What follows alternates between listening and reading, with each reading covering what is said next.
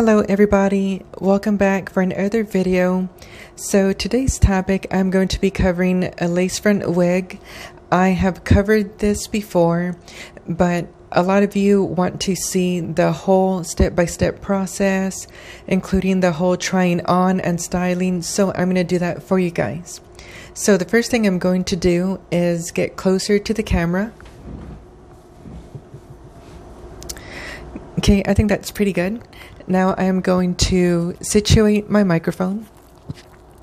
Let's see if I can get this on very easily. Okay, so let's get started.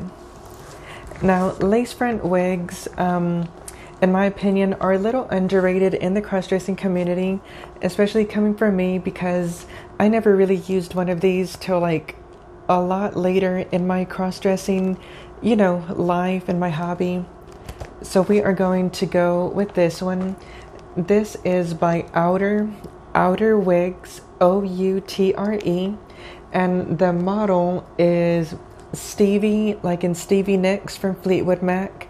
One of my favorite bands ever, by the way. And the color is DR4 slash 613. So the thing about lace front wigs is that um, is that they are a little different from wigs that are non-lace front in the way how they are um, styled and the hairline. Now, what I mean by that, guys, is is that you need to trim the obvious lace in the front in order to get the wig to fit you you know, properly. And just take off all this packaging.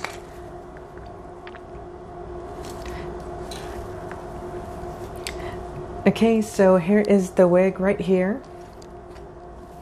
It's a pretty color. I wanted something with waves and curls and stuff. Now, something that I want to say first, guys, is that um, if you have like longer hair, like I'm growing mine out just a little bit, please do use um, a wig cap just to keep like your hairline in and I'm going to show you why it's very important. So you can see here that there's the lace hanging off the front. Well, you want to trim this. You do want to trim the lace and to do that you cut right down the middle like where the hairline is just like that. You see, I cut it down the middle. Now you want to trim really, really close along the hairline right here. You want to cut really close, but don't cut all the way past it though. And I'm going to tell you why. It's because the point of a lace front wig, it is to mimic and look exactly like your natural hairline. And by doing you know, and by trimming the wig properly, it's going to have a natural look to it. Now, lace front wigs do not, I repeat, do not have, um, they don't usually have any bangs to them. So that's why it's really important that you do this and that you trim this really, really carefully as I am doing right now.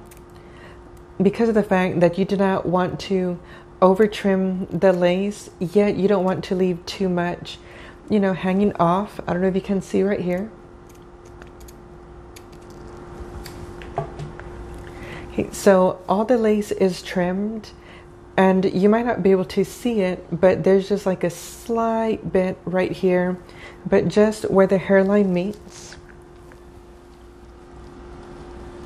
And now I'm going to try it on and show you all the overall result. So once again, here is the product. Here is the wig, the style, the name. And here is the result. So as you all can see um, with the lace front wig, you get a very, very natural looking hairline right here. It looks like if it really is your hair, it's because of how you trim it right here. It helps everything blend in very well. The hairline looks natural. And that is what makes lace front wigs different as opposed to as opposed to non-lace front wigs like this one with bangs that I have. Stay away from non-lace front wigs that do not have any bangs because if there are no front bangs to cover the non-lace front, it's going to look really bad. You're going to get that very, very bad looking hairline, that very unnatural look. So that's something that you want to avoid if you're not going the lace front route. If you are going lace front, well, you're safe to do the non bang kind of look even though most non-lace fronts already do not have bangs as is. Oh, and one more thing, I want to show you all the shoes that I'm wearing. It's these from a previous video. It's my beautiful new silver glitter heels with ankle straps. Just thought I should show you all. But anyways, I'm getting off topic. So yeah, let me know in the comments what you think of the video, what you think of the of the lace front wig. As you all can see, it has fluff, it has bounce, it has like a really good natural look to it. I'm happy with it. Please take notes of what I recommend in regards to this whole wig thing and recommendations.